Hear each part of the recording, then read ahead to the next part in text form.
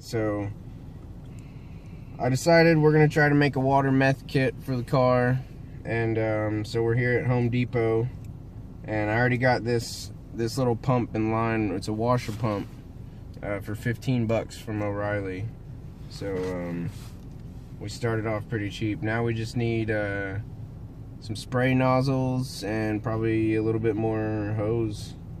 That's probably it from here. And with this one, I'm, I'm gonna have to end up making my own tank and stuff. Um, but yeah, we'll have uh, data from the ECU and all that stuff, and we're gonna, you know, start small and try to uh, try to see if we can lower some intake temps for not a lot of money because I don't want to spend $280 to squirt water into my intake.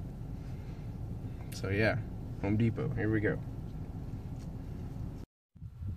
Got the experimental cheapo water meth setup set up. Got my $15 reservoir, $15 pump, like $5 worth of hose and mist nozzle. Do like a little test spray. And it's probably not going to be anywhere near enough at first. But I figured it'd be best to start small.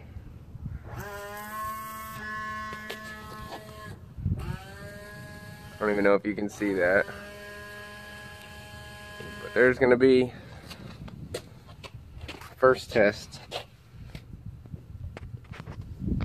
The next video is gonna be it's gonna be about testing it and then figuring out which nozzle works best or works at all. We just this might not even work. So yeah, I'm definitely gonna make that gauge bigger so that while we're driving we can see and you know if it's working, it should be pretty obvious that it's working just by watching it. But at the same time, I have this last log from the last time I was driving. And we got manifold air pressure, so boost is the red line. And then air temperature is the green line.